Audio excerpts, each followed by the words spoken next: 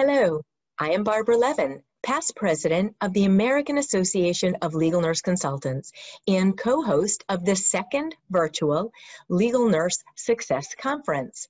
I'm here today with Mindy Cohen, who is also a past president of the American Association of Legal Nurse Consultants and president of On Point Legal Nurse Consulting.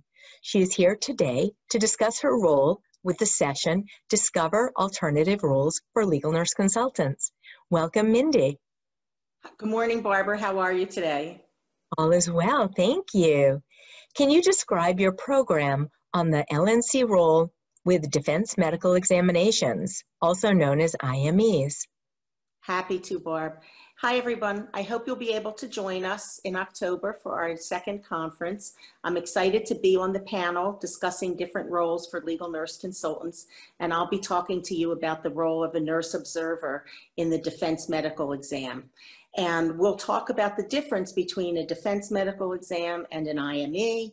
We're going to talk about some hints on preparing clients, on how to best perform your role of being the eyes and ears of the attorney during that exam, uh, some hints on report writing.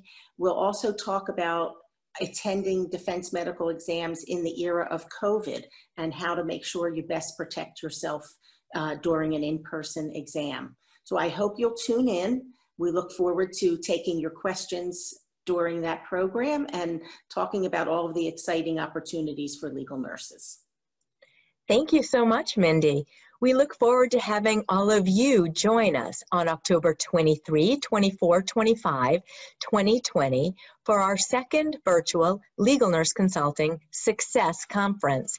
You will hear Mindy's program as well as many other wonderful programs. You will hear tips on how to utilize your role as a legal nurse consultant during these COVID times and how to enter the arena of a legal nurse consultant.